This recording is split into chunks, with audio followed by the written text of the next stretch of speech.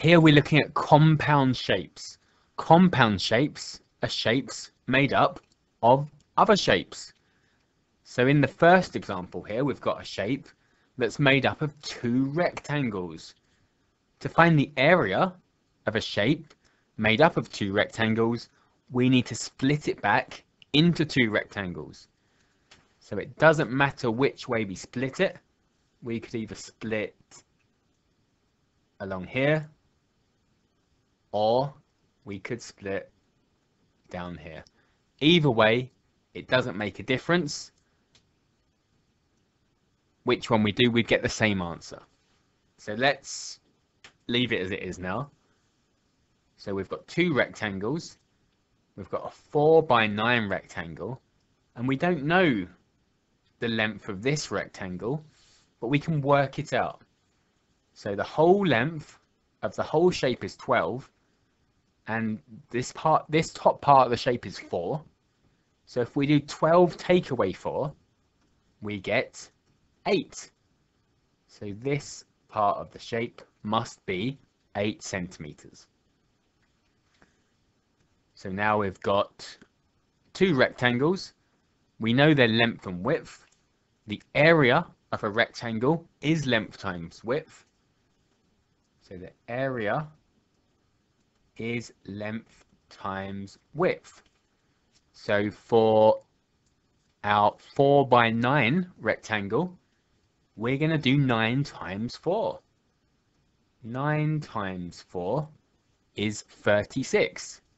So this rectangle has got an area of 36 and we measure area in squares so it's 36 centimeters squared. For our second rectangle, it's got a length of 8 and a width of 5. The area is length times width, so 8 times 5, which is 40. And again, the lengths are in centimeters, and we measure area in squares, so it's 40 centimeters squared. And now we know both parts separately to find the total area, the whole area of the shape, we add them up. So the total area is 36 plus 40, which is 76 centimeters squared. Okay, one for you to try here. So give this one a go. So we're going to split it into two different rectangles. Again, there's different ways of doing it. It doesn't matter which way you split it. You should get the same answer. So I'm going to go this way this time. So I've got a rectangle at the top, which is 7 by 13. The area is length times width. So we're going to do 13 times 7 for our top rectangle. And we know the bottom rectangle has got a length of 8, but what's its width? So the whole shape is 11 centimeters tall. And this part of the shape is 7. So this part is 11 minus 7. And 11 minus 7 is 4. So it's 4 centimeters tall. So this rectangle is going to be length times width to calculate the area. So 8 times 4. So 13 times 7. How can we work out 13 times 7? So 13 times 7. If we do 7 times 3, that's 21. So 1 in the 1s, carry 2 over. 7 times 1 is 7, plus the 2 makes 9. So that's 91 centimeters squared. And 8 times 4 is 32 centimeters squared.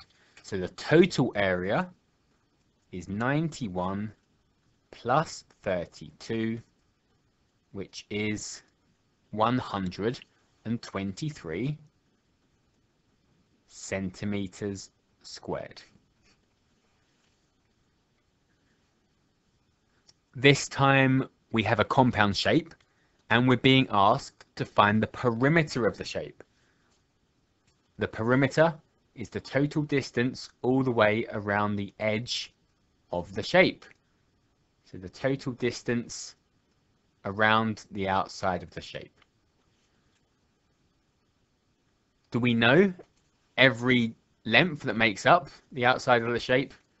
There are two we don't know here, so we can work them out.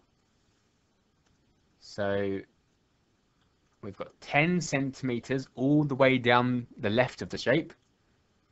And we've got 6 centimeters on the right. The total left is going to equal the total right. So 10 take away 6 is 4 centimeters. And we can work out this missing red length here because the total bottom of the shape, the 15, is going to equal the total top. So 15 take away 7 is 8. So we could say that's 8 centimeters. But we didn't actually really need to work that out because if we knew the total top is 15, we can just say the whole top is 15. And because we knew the whole side must equal 10, we can just say the whole side is 10.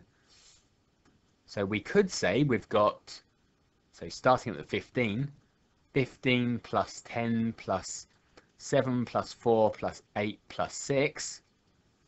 Or we could say, which is easier, we've got two 10s and two 15s. So two 10s and two 15s. Two 10s are 20, two 15s are 30. So we've got 20 centimeters plus 30 centimeters, which is 50 centimeters. We measure perimeter in centimeters. It's a distance, so we measure it in centimeters or millimeters or meters, whatever we're measuring our distance is in. Okay, one question for you to try here. So give this one a go. So we could work out the missing lengths, or we could say the total top is 14, which means these two lengths along the bottom must equal 14.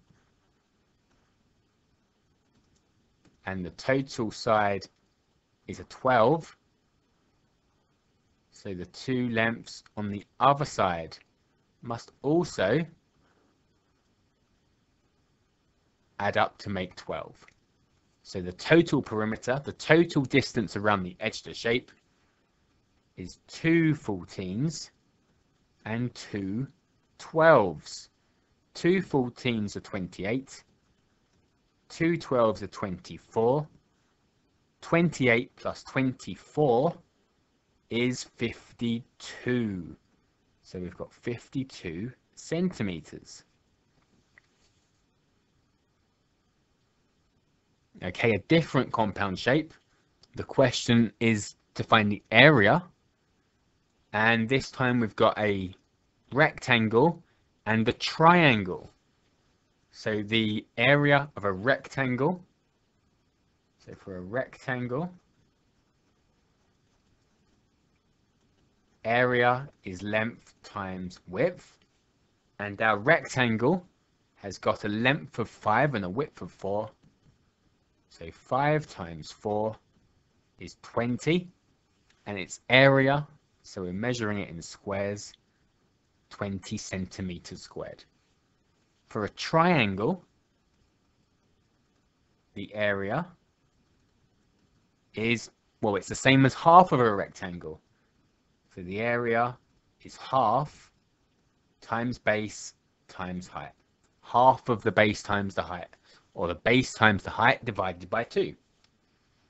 So this one's got a base of 4 and a height of 3. We're not interested in the diagonal lengths, it's how tall it is from bottom to top. So base is 4, height is 3, so half times 4 times 3. Half of 4, times means of, half of 4 is 2. and 2 times 3 is 6. So it's 6 centimeters squared. So we've got 20 centimeters squared and 6 centimeters squared. So the total area is 20 plus 6, which is 26 centimeters squared. Okay, the next question is for you to try. So give this one a go. So this shape, you could say it's a compound shape. It's a rectangle and a triangle, but it's also a trapezium. It's got a set of parallel sides. So you could work out the area of a trapezium, or you could work out the area of the rectangle and the triangle and add them together. Both ways would give you the correct answer. So if we treat it like a compound shape, we'd say the area of the rectangle is length times width, 9 times 5, which is 45 centimeters squared. And the area of the triangle is half times the base, which is 6, times the height, which is 9, half of 6 is 3. 3 nines are 27. So we've got 45 plus 27, which is 72 centimeters squared. If we use the trapezium, we'd say the area of a trapezium is half the sum of the parallel sides times the height times the distance between them. So we've got the parallel sides of 5 and 11. So 5 plus 6 makes 11. So it'd be half of 5 plus 11 times the height, which is 9. 5 plus 11 is 16 half of 16 is 8. So 8 nines is 72 centimeters squared. So it wouldn't have mattered which method you used, you would get the same answer. And another compound shape. This time we've got, well, it's either a rectangle with a triangle cut out of it, or we could say we've got two rectangles and a triangle. So we could say we've got two rectangles and a triangle, but it would be easier to say we've got one rectangle with a triangle cut out of it. So we could work out the total area of the rectangle and take away the triangle. So let's look at the triangle's measurements. So 12 take away 4. 12 take away 4 is 8. And 9 take away 5 is 4. So we could say we've got a rectangle. The area of a rectangle is length times width.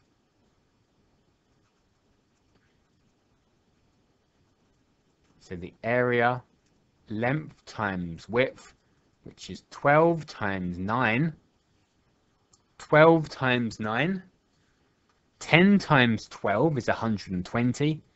Take away 112, that's 108. So 108 centimeters squared for the rectangle.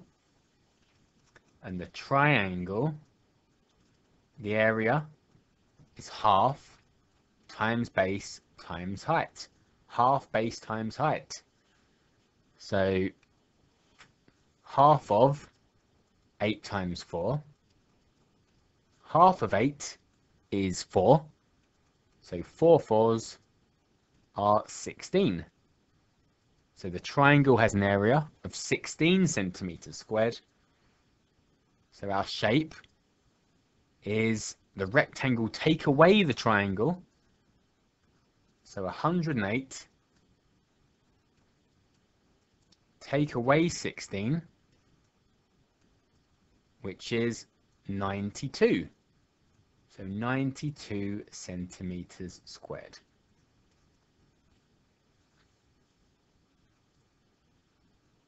Okay, one for you to try. So this time we've got a square cut out of a triangle. So find the area of the shape that's left. So the area of a triangle is half times base times height. So for the triangle, the area is half times 8 times 7, which is the same as 4 sevens, which is 28 centimeters squared. And a square has a length of 3. So the area of the square is 3 squared. So the length squared, 3 squared, which is 9 centimeters squared. So what's 28 take away 9? 28 take away 9 is 19. So we've got 19 centimeters squared left. And to finish up, two questions. So give these ones a go. Question one is either two rectangles in a triangle or a rectangle with a triangle cut out of it. So the total rectangle, so the area of a rectangle is length times width. So that's 10 times 9, which is 90 centimeters squared. So that'd be the total rectangle. We need to cut out the triangle from it. And the triangle's measurements are, so 9 take away 6 is 3. And 10 take away 7 is also 3. So the area of a triangle is half times the base times the height. So half times 3 times 3. Half of 3 is 1 and 1.5. And 1 and a half times 3 is 4 and a half. So we've got 4 and a half, 4.5 centimeters squared. So our area is 90 take away 4.5. So 90 take away 4 is 86. Then take away 0.5. So that's 85.5 centimeters squared.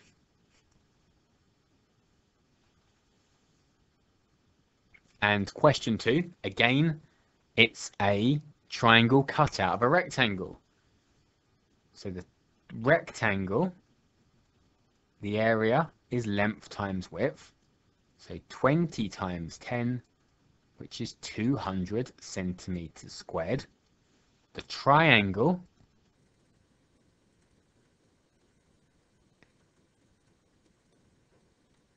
the area is half times the base times the height. So half times 8 times 3, which is half of 8 is 4, so 4 threes, which is 12 centimeters squared. So what is the shaded area? It's 200 take away 12. So 200 take away 10 is 190. Then take away 2. That's 188 centimeters squared.